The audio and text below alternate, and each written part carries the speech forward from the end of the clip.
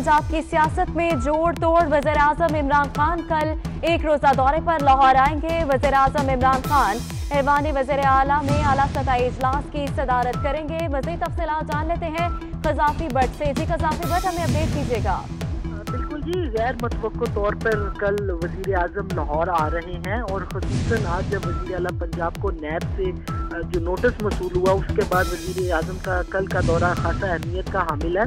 तो ज़रा उनका ये कहना है कि कल काबीना का खसूसी कमेटी का इजलास भी बुलवा लिया गया है, जिसके अंदर काबीना की जो कारकर्दगी है, वो भी जेर बहस आएगी और इतिहादियों के खसूस जो तल्लुक हैं वज़ीर अला और गवर्नर पंजाब उन्हीं हवाले से ब्रीफ भी करेंगे। जी कसाफी बट बहुत शुक्रिया हमें अपडेट करने के लिए। नैब लाहौर ने वज़ीर अला पंजाब उस्मान बुजदार को गैर कानूनी तौर पर शराब लाइसेंस का इजरा करने पर 12 अगस्त को तलब कर लिया है, जबकि मरियम नवाज़ को जाती उम्र अराजी केस में 11 अगस्त को तलब कर लिया है। हम खबर से आपको अपडेट कर रहे हैं, नैब लाहौर ने वज़ीर अला पंजाब उस्मान बुजदार को गैर कानूनी तौर पर शराब लाइसेंस का इजरा करने पर 12 अगस्त को तलब कर लिया है जबकि मरियम नवाज़ को जाती उम्र अराजी केस में 11 अगस्त को तलब किया है। अहम खबर से आपको अपडेट कर रहे हैं। मरियम नवाज़ को जाती उम्र अराजी केस में 11 अगस्त को तलब कर लिया है, जबकि नैब लाहौर ने वज़ीर अला पंजाब उस्मान बुजदार को गैर कानूनी तौर पर शराब लाइसेंस का इजरा करने पर 12 अगस्त को तलब किया है। मजीद तफसी जान लेते हैं साउथ बट से। जी साउथ बताइएगा।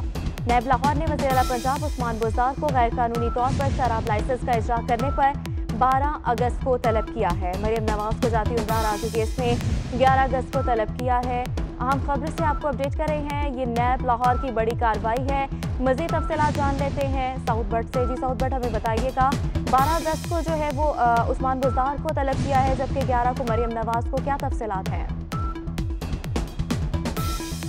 बिल्कुल नैब ज़िले की जानब से ये कन्फर्म किया गया है कि 12 अगस्त को वज़ीर अला पंजाब सरदार उस्मान बुजदार को बजात खुद पेश होने के अहकाम जो है वो जारी किए गए हैं। मुबैना तौर पर गैर कानूनी जो लाइसेंस का इजरा किया गया है, शराब लाइसेंस का, उस केस में बुलाया गया है। नैब की जानब से जो सवालनामा तैयार किया गया है, सरदार उस्मान बुजदार के लिए उसमें यह लिखा गया है कि आपका ये स्वाबदीदी इख्तियार नहीं था कि आप शराब के लाइसेंस का इजरा खुद कर सकें। एस ओ पीज़ के तहत जो डायरेक्टर जनरल एक्साइज पंजाब हैं, उन्होंने उस फ़ाइल के ऊपर साइन करने थे, लेकिन तमाम तर एस ओ पीज़ को मरूज खातिर रखते हुए मुबैना गैर कानूनी तौर पर फ़ाइल वजी अला पंजाब की टेबल पर पहुँचाई गई और वजी अला पंजाब ने उसके ऊपर अप्रूवल दी। इसी केस में वजी पंजाब को बुलाया गया और कहा है कि बारह अगस्त को दिन ग्यारह बजे आप बजाते खुद पेश हो। आपकी किसी किस्म की जो अगर लॉ टीम पेश होती है तो उसको काबिल कबूल नहीं किया जाएगा। साथ ही साथ जो दूसरी पेशी है, वो नायब सदर मुस्लिम लीग नून मरियम नवाज़ शरीफ की है। उनको बुलाया गया है जाती उम्र रायविंड अराजी केस के अंदर। नैब जिला की जानब से ये बताया गया है कि मरियम नवाज़ शरीफ ने मुबैना तौर पर 200 एकड़ अराजी अपने नाम पर करवाई, जो मुकम्मल तौर पर गैर कानूनी उनका इकदाम था। इसी केस में सौ कनाल अराजी मियाँ मोहम्मद नवाज़ शरीफ ने अपने नाम पर करवा रखी है और सौ कनाल अराजी मियाँ मोहम्मद शबाज शरीफ ने अपने नाम पर करवा रखी है। ये दोनों भी इस केस में मुलजमान हैं, लेकिन अभी मरीम नवाज़ को बुलाया गया है। मस्कुरा इस केस में जो डिप्टी कमिश्नर लाहौर थे, उस वक्त नूरुल अमीन मेंगल, वो भी शामिल तफ्तीश हैं और साथ ही साथ जो बाद में D G L D A बने आहद खान चीमा, वो भी शामिल तफ्तीश है। तो मरीम नवाज़ को भी कहा गया है कि आप 11 अगस्त को दिन 11 बजे खुद पेश हों और आगे जवाब दें कि किस तरह आपने 200 एकड़ कीमती अराजी अपने जाती उम्र राइवेंट के अंदर जम करवा ली और इसके ऊपर तमाम तर जो लॉ लॉ ऑफ़ लैंड था, उसके एस ओ पीज़ को मुकम्मल तौर पर आपने साइड पर रखा।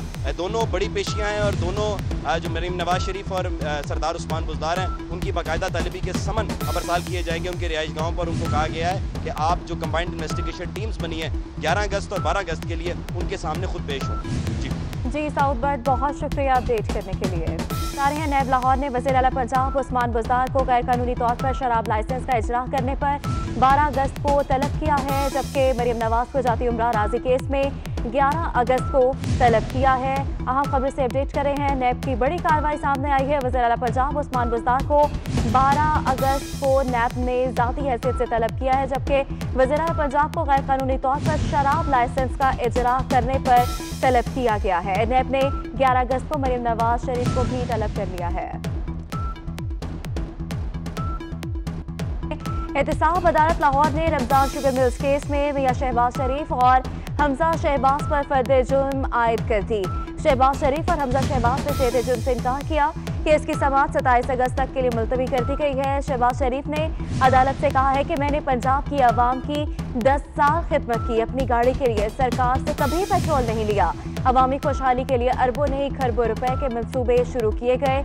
तो आपको अपडेट कर रहे हैं अहम खबर से। एहतसाब अदालत लाहौर ने रमज़ान शुगर मिल्स केस में मियाँ शहबाज शरीफ और हमजा शहबाज पर फर्द जुर्म आयद कर दी है। मजीद तफसलात जान लेते हैं शाहीन अतीक से। जी शाहीन अतीक, हमें अपडेट कीजिएगा। जी, एहतसाब अदालत के जज अमजद नजीर चौधरी ने रमज़ान शुगर मिल में हमजा शहबाज और शहबाज शरीफ पर फौज जुर्म आयद कर दिया है और अदालत ने नैब को 27 अगस्त को गवाह अदालत में पेश करने का हुक्म दिया है। अदालत में फ़र्ज़ जुर्म आयद की गई। तो शबा जो शहबाज शरीफ थे, उन्होंने जो है इसकी मुखालफत की, उन्होंने फ़र्ज़ जुर्म से इनकार किया।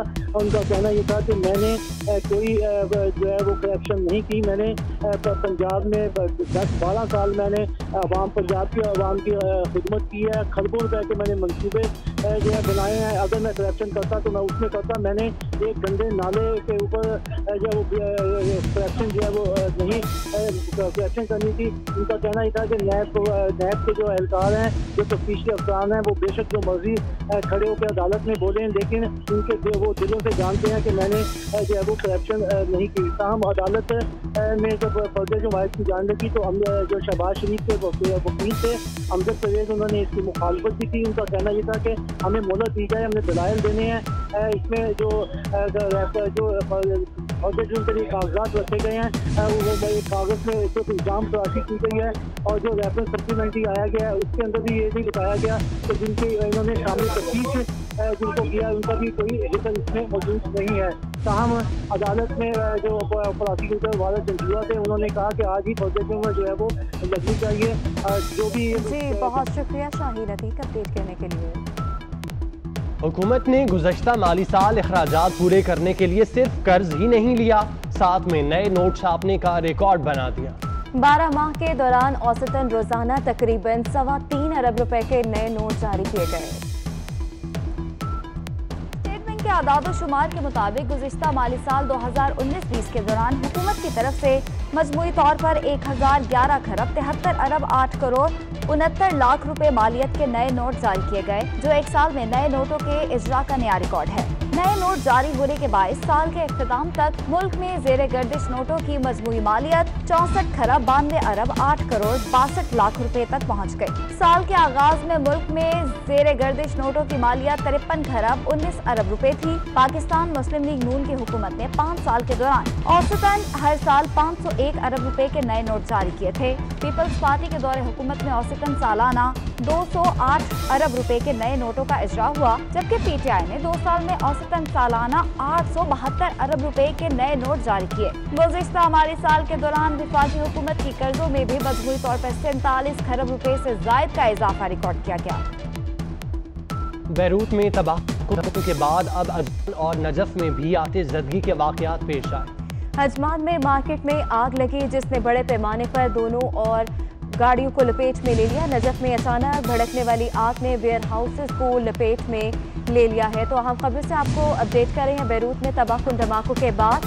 अब अजमान और नजफ में भी आतजगी के वाकत पेश आए हैं। अजमान में मार्केट में आग लगी, जिसने बड़े पैमाने पर दुकानों और गाड़ियों को लपेट में ले लिया।